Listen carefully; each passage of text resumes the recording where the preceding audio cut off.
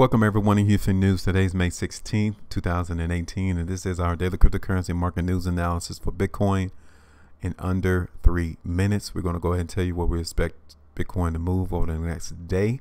Currently, they're down 2.38%. Last trade was $8,293.70.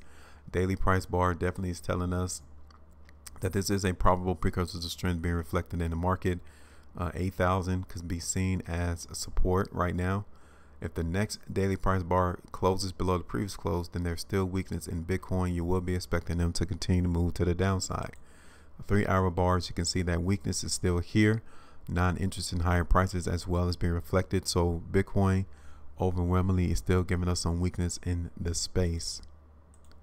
Uh, taking a look at the one hour chart, you can see that stockpile is being had over the last couple of hours. Okay, but we're not necessarily moving lower. So Short term, we can definitely move higher back up towards 8360 or even $8,400 in trading tomorrow. But I do not like the fact that we are getting inundated with some stockpile and some lack of interest in higher prices. Until we start seeing more precursors of strength in Bitcoin, expect consolidation and move it to the downside. So again, weakness in this space definitely tells us that consolidation is the best thing that we're going to get in Bitcoin at the moment.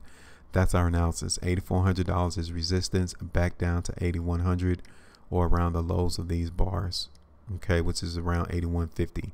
So that's our analysis right now is consolidation. But if we get more of the stockpiling weakness in the market, Bitcoin will continue to move lower in trading tomorrow. So be watchful over the next couple hours to see what type of bars we get. That's all I got for today, uh, May 16, 2018. You guys got any questions or comments, go ahead and leave it in our comment section of this video.